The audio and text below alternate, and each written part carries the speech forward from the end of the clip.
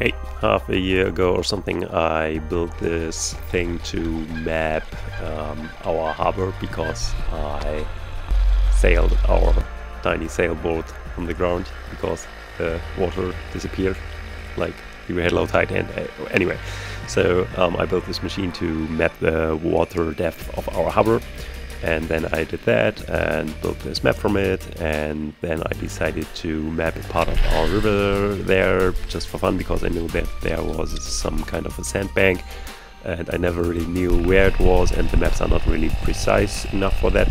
So I built this, uh, this other map and then I told some people about it and they asked me if I want to map their harbor and this is what I'm doing here. So I started like it was the beginning of February or something, so we had minus two degrees, I had ice on the boat and it was pretty cold. So this is when we made the first measurement for the comparison because um, they wanted to have two measurements because they wanted to have one before and one after the digging or flushing because uh, the harbors in these areas tend to stand up pretty fast because we have pretty high tidal changes and the river is pretty uh, deep.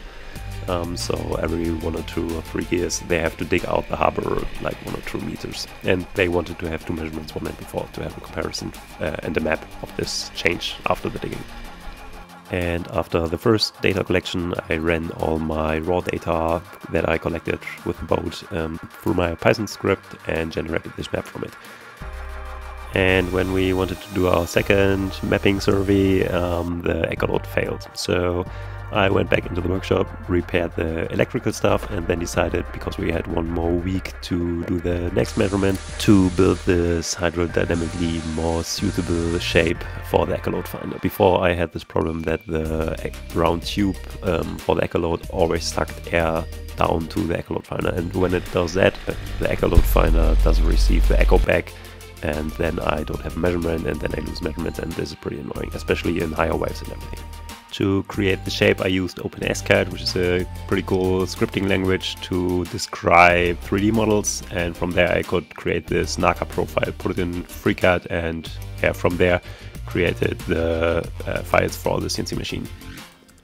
And to build this, I CNC machined uh, two plywood sheets um, in a NACA profile and put uh, styrofoam pieces on top and then laminated two layers of glass fiber epoxy on it, sanded it down and um, yeah, I think the surface is okay and not perfect, but for this purpose it's okay. And it's waterproof and pretty durable. And because I was a bit tight on the time frame, I had to do the second layer of the laminate on the day we wanted to do the mapping uh, the second mapping, so I had to build this tiny oven with this uh, heater to um, speed up the um, hardening process of the epoxy. And it actually worked pretty good. and I think it took like three or four hours to be like 90% hard, but when we got into the water, it worked. And then later we had pretty high tide, as you can see here.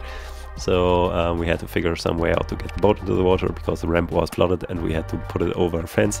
And we had also pretty strong winds and it was pretty cold and it rained from time to time, so pretty annoying uh, condition spot. The tracking thing worked pretty well. As you can see, there is no like air sucked down to the echolot finder.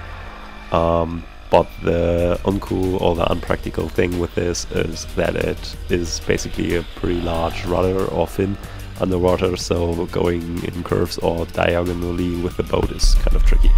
But I think the idea works, and we got all the measurements, and it worked flawlessly, and I built the second map and got the comparison, and everyone is happy, so everything's cool, and I think the idea worked. And as always, the code and everything is in the description. It is a, a, GitHub repository with all the scripts for the rendering and also I think a small schematic. Um, so you can build yourself. And if you like this, leave a like or a subscription. And if you have any questions or ideas what to improve, leave a comment. So thank you, bye.